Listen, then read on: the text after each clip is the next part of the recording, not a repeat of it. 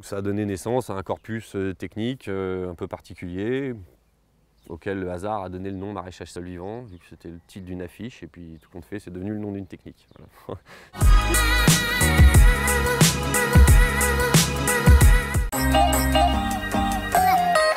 Euh, Dans les années 80, en France, il y différentes personnes qui ont essayé aussi.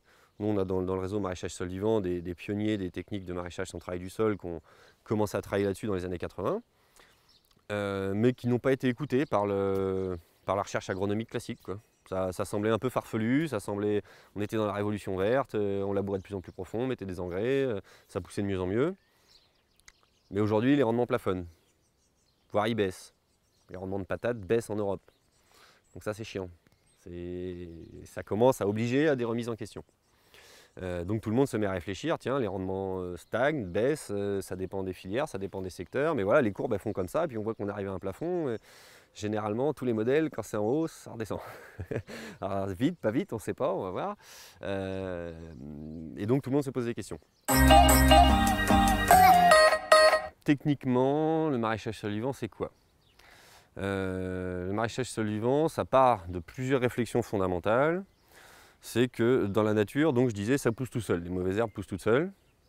Et tout notre corpus technique nous explique qu'on doit agir pour que ça pousse. On doit travailler les sols, on doit mettre des engrais, on doit mettre des semences, on doit faire toutes ces choses pour que ça pousse. Et si on ne le fait pas, on voit bien que ça ne pousse pas. Si on ne le fait pas, qu'est-ce qui pousse des mauvaises herbes? Ce que nous, on considère comme étant des mauvaises herbes, parce que la nature, euh, c'est elle-même, ça fait partie d'elle, donc elle, ça ne la dérange pas.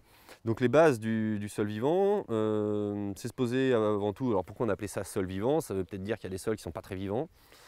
C'est effectivement le problème. en fait, un sol vivant, ça a un taux de matière organique euh, assez important, ça a un taux d'activité biologique assez important, et aujourd'hui, la plupart des sols agricoles n'ont pas ce taux de matière organique, n'ont pas ce- cette activité biologique, et écologiquement, on appelle ça des déserts. Donc nous, notre question, ça a été comment on fait pour euh, cultiver des sols qui ne sont pas des déserts, et les préserver, les conserver. Donc là, on rejoint très fortement la thématique de la conservative agriculture, qui était une agriculture de conservation en français, qui est une, une école d'agronomie qui s'est développée aux États-Unis. Et d'un autre côté, j'ai des sols très dégradés. Comment je fais pour remettre de la matière organique, remettre de l'activité biologique et remettre euh, des concepts peut-être un peu plus abstraits qui vont être la structure, l'organisation.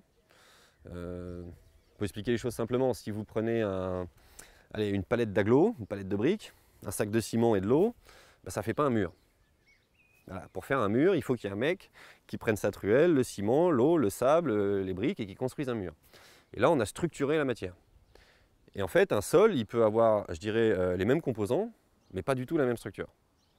Qui structure le sol C'est l'activité biologique du sol. L'être vivant qu'on connaît le mieux, c'est le ver de terre, parce qu'il est identifiable, euh, il est macroscopique. Il y en a plein d'autres, les bactéries, les champignons, mais eux, ils sont microscopiques, donc on ne les voit pas très bien. Mais en gros, ça, c'est un bon indice. Si vous avez un sol avec beaucoup de vers de terre, vous avez un sol vivant. On a identifié le premier des problèmes, pour nous, c'était le travail du sol. Alors comment ne pas dégrader mon sol? Donc là, on utilise de la bâche. Derrière, on voit de la paille. Alors la paille, c'est quoi? C'est de la plante, mais morte. Et ça, c'est très important. C'est-à-dire qu'un sol, en fait, c'est structuré comme un arbre, et ça a aussi des besoins comme tous les êtres vivants. Ça a besoin de manger. Et donc un sol, qu'est-ce que ça mange? Bah, Ça mange de la plante morte, tout simplement. La plante vivante, elle, a une action de structuration, elle envoie des racines, elle fait de la photosynthèse, et quand elle meurt, elle tombe au sol et elle nourrit le sol. Voilà. Donc la plante fabrique le sol, et le sol, il sert à quoi? Il sert à recycler la plante, et ensuite à fournir des services à la plante. Donc c'est le cycle de la fertilité. Parce qu'aujourd'hui, il y a peut-être une réelle urgence à arrêter de travailler les sols, euh, à avoir des aliments de plus en plus sains. euh, voilà, vous entendez peut-être dans les médias de temps en temps dire ah, on a perdu, je sais pas, 80% de la valeur nutritive des salades, des tomates en 50 ans. Nous, on les retrouve, clairement. Aujourd'hui, on a retrouvé cette valeur nutritive. Parce qu'on a retrouvé la qualité de nos sols et on a bien regardé les plantes qu'on faisait pousser. On n'a pas pris n'importe lesquelles. Donc on retrouve cette valeur nutritive. Ce qui est quand même un. On a fait machine arrière. Quoi. On a réussi à sortir un peu de, ce cercle vicieux absurde euh, où on produisait de plus en plus, de moins en moins de bonne qualité et on savait plus ce qu'on faisait.